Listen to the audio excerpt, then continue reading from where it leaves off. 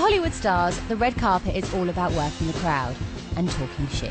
So I'm going to interview them with a mic that tells it like it is. You're so young and you've achieved so much. Looking back, can you believe how much you have behind you? Um, yeah, I was just saying, it was really surprising me. I was like, why? I feel like I just started, like, but the truth is, is I guess I've been around for a minute now, you know? What's the secret to keeping the marriage lasting? How do you keep her happy? You have to go backstage, right? Oh, there's many ways I keep my wife happy. I'm sure. you seem like a very mysterious character. When you pull back the layers, what's really underneath? Uh, I'm, I'm, I am what you see. I'm just me. Uh, yeah, I, I kind of wear, I wear all my stuff right on my face. That's why I wear there. glasses, because you can read straight through me if I didn't have them on. We've invited some American TV and movie stars to be talking heads on one of those top 10 list shows. They've been told they're coming here to talk about one thing, but I'm going to surprise them and talk about something completely different.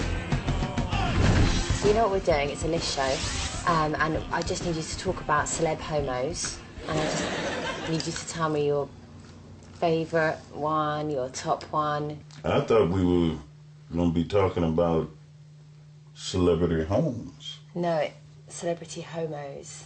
So I'm just going to show you some pictures, and if you could just tell me who's your favourite celeb homo.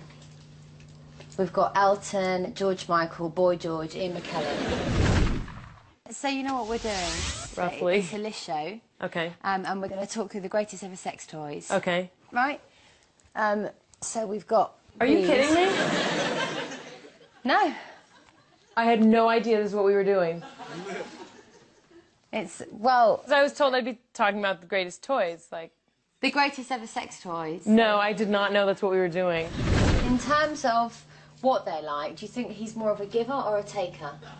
I, I would think he would be more of a giver. A giver. And Ian McKellen, do you think he's likely to spit or swallow? He probably swallow. What do I do? I, Well, I'm not going to do it.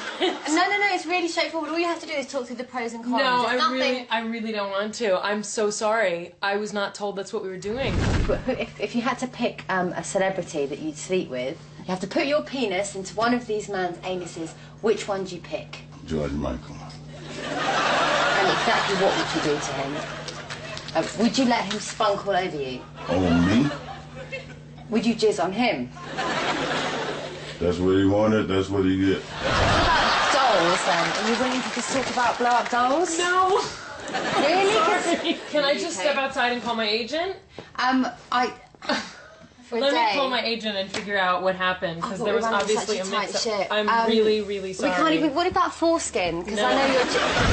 Rob, it's, it's great to be here on the set of your new movie. Thank you. You're looking the part. Thank you You're very looking much. fabulous. Tell me a little bit about it. This is uh, probably the meanest, uh, dirtiest of all the movies I've made, but it's going to be a good one. You really have had a lot of diverse roles as an actress. What really drives you?